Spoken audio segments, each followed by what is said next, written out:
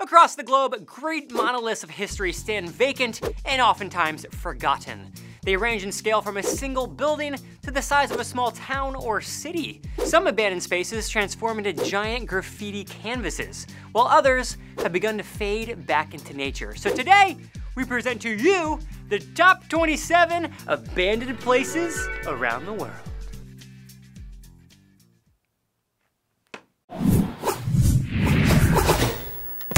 The idea of the Olympic Games bringing wealth and prosperity to the host country is only kinda sorta true. One example is the site of the 1984 Winter Olympics in Sarajevo, Bosnia. There you can visit the long neglected bobsled track, ski jump, medals podium, and even the hotel where the Olympians themselves stayed. In the desert hills of the Egyptian Sinai Peninsula is the Seventh Art Outdoor Cinema. Built in the late 1990s by a French drama student, the space contains 700 seats in a projection house behind them. For unknown reasons, no film has ever played there, and the large screen is totally gone. If the line has ever been too long at Disney World, this park is perfect for you. In Berlin, you can visit the fallen dinosaurs and worn woolly mammoths of Spreepark. This amusement park thrived after its construction in 1969, but by the early 1990s, it fell on hard times. A combination of poor attendance and the owner's criminal activities caused the park to permanently shut its doors in 2002. Tajbeg Palace in Kabul, Afghanistan was built around 1920 by the Emir of Afghanistan. In 1979, a Soviet force of 700 troops invaded the country and stormed the palace in Operation Storm 333, removing the president who lived there. The building remains totally empty. Construction of Moscow's Akvadroma water park was approved in 1997 with the hopes that it would be ready for the 1998 World Youth Games. When the project didn't meet the deadline, it continued to be built and was halted and abandoned in 2002. Inside the nine-story structure lay half-completed pools, water slides, cafes, offices, and more. When the apocalyptic zombies want to go for a swim, they will certainly go here.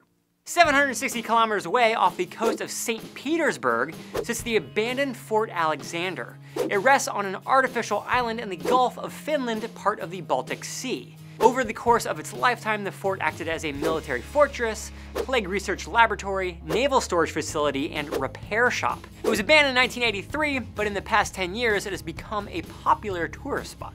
From Fort Alexander, we'll venture back towards Moscow to the Uglich Reservoir, where the flooded belfry rises 244 feet from these man-made waters. As part of Stalin's effort to modernize the USSR in the 1930s, the construction of a dam on the upper Volga River flooded everything in the town of Kalyazin, except for the bell tower of St. Nicholas Cathedral.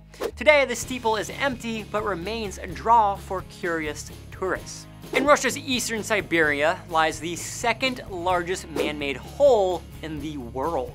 The Mir mine was started in 1957 and grew to be an astonishing 1,722 feet deep, almost as deep as the World Trade Center 1 is tall, and almost a mile across. Operations as a diamond mine ceased in 2001, with the largest diamond to be pulled out weighing 342.5 carats or 68 grams. The mine can be accessed by driving down its spiral edge, which takes one full hour to get to the bottom. The Canfranc International Railway Station opened in the Spanish Pyrenees in 1928. During World War II, it became an escape route for fleeing Europeans, but later fell into the hands of the Nazis. After the war, a train derailment led to the abandonment of the line and the station, but in 2006, the railway tunnel became the new home of the Canfranc Underground Laboratory. Witley Park. In the late 1890s, a fraudulent stockbroker named Whitaker Wright built a sprawling estate in Surrey, England called Lea Park. In addition to a gigantic mansion and extensive landscaping, he built an underwater smoking room with a domed glass ceiling that looked out into the lake surrounding it. Wright was sentenced to seven years in prison and Lea Park was sold off, but this smoking room remains. Nara Dreamland, the Japanese answer to Disneyland, opened in 1961. At the height of its popularity, it welcomed 1.6 million visitors a year. However, the opening of Disneyland in Tokyo and Universal Studios in Osaka essentially ruined the park's business, which finally closed in 2006. It pretty much looks like Disneyland, but there are no lines. Another doomed Japanese amusement park was Gulliver's Kingdom. Based on the novel Gulliver's Travels by Jonathan Swift, Though it opened in 1997, a lack of customers caused it to close four years later. The most notable feature of this abandoned park is the giant representation of Lemuel Gulliver tied to the ground, which now has graffiti on its face, making it look like Mike Tyson. Some buildings come so close to opening, but just never quite get there. This is certainly the case with the Ryugyong Hotel in Pyongyang, North Korea. A 105-story pyramid-shaped mammoth, this skyscraper has had multiple starts and stops since construction began back in 1987. The interior structure was completed in 1992, however the windows were not put on until 2011. It has been nicknamed the Hotel of Doom, and as of 2017, the building remains un opened. Opening in 1981, the House of the Bulgarian Communist Party was the political hub of the country during the Soviet era. But when the USSR dissolved less than a decade later, the building was abandoned. Most of the roof panels have been stolen, leaving the interior of the once grand structure open to the elements. Roughly nine miles from the Japanese city of Nagasaki lies the abandoned Hashima Island.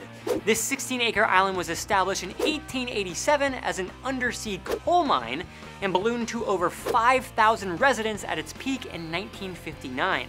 But when the coal was depleted by the mid 1970s, the island became abandoned. And, fun fact, external shots of the island were used in the James Bond film Skyfall. From one James Bond location to the next, used in the film Quantum of Solace, Craco is an Italian ghost town that's been around for close to 1,000 years. A landslide in 1963 and a flood in 1972 whittled down the population until finally an earthquake in 1980 led to the complete abandonment of the site. After the Chernobyl disaster in 1986, the nearby town of Pripyat was evacuated and abandoned. 30 years later, the town remains vacant as radiation levels are still too high to allow for reoccupation. Houses, gymnasiums, parks, and even a Ferris wheel all wait for the day, someday, when its inhabitants may finally return. Until then, the radioactive foxes of Russia will take full advantage of the open real estate. The Belgian town of Charleroi is home to one of the most beautiful abandoned places in the world.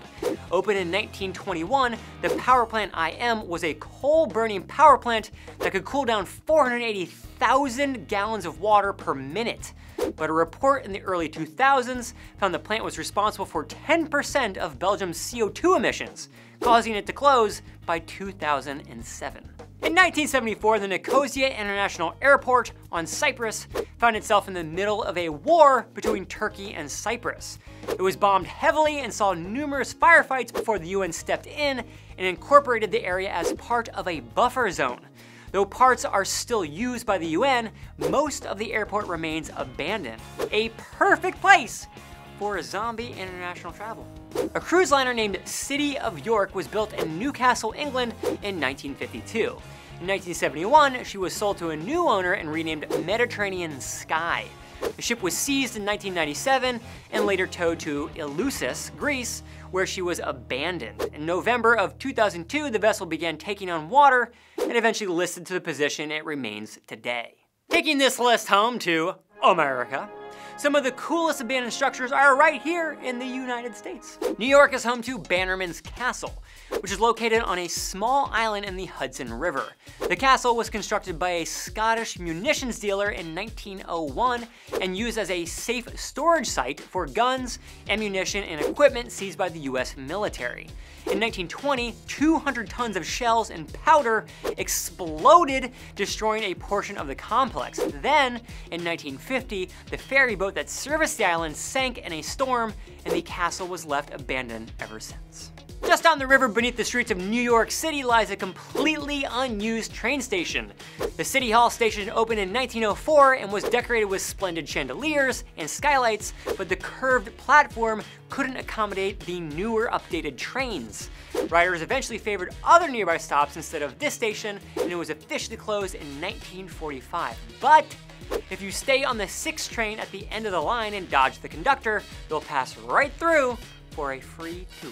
From Manhattan, let's jump across the East River to Brooklyn, where a once majestic movie theater now lays dormant. The Loew's 46th Street Theater was the place to catch a movie from its opening in 1927 until the 1960s. When the rise of the multiplex drove down business, the space was changed to a performance and music venue. It officially closed in 1973 and now waits for another chance at greatness. My guess is that hipsters will turn it into an urban farming single origin pour over coffee megastructure. Just my guess. Traveling from coast to coast, the next abandoned location is the ghost town of Kennecott, Alaska. From 1911 to 1938, the town boomed with activity as nearly $200,000 worth of copper was processed. But when the copper was finally tapped out, the residents left the town and a new ghost town was born. Detroit is home to the massive and totally empty Michigan Central Station. The building began operations in 1913 and was immensely popular until after World War II, when cars became America's favored method of transportation. After frequent ownership changes, the building was closed in 2004.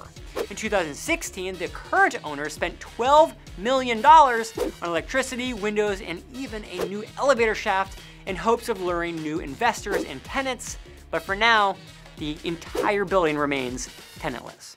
In 1910, the Waverly Hills Sanatorium opened its doors to tuberculosis patients in Louisville, Kentucky. With the introduction of a new antibiotic drug called streptomycin in 1943, tuberculosis cases lowered and the hospital transitioned into a nursing home from 1962 to 1982. It was closed by the state due to suspected patient neglect, and the building has been empty since. Probably the most perfect place for ghost hunting on the list. Hurricane Katrina claimed 1,245 lives and caused $108 billion worth of property damage. Part of that damage was the 140 acre Six Flags New Orleans theme park, which was completely flooded and subsequently abandoned. Despite various development plans since the hurricane, the site remains abandoned in 2017. Bonus fact! Here we go. When I travel, I like to go for runs because I feel like I can just like see a city in a way that you can't really see it by either being in a car or walking around or what other mode of transportation, maybe like a bicycle. When I was in Vienna this last winter, I stumbled upon what I thought was a water tower. But it was so insanely massive, I couldn't believe no one was talking about it or there wasn't like a sign that said what it was. So I asked the guy walking his dog, and I found out that it was a giant structure that was created by the Nazis in World War II. In fact, it was an anti-aircraft station smack in the middle of Vienna. There were these two massive concrete structures right next to each other, totally abandoned.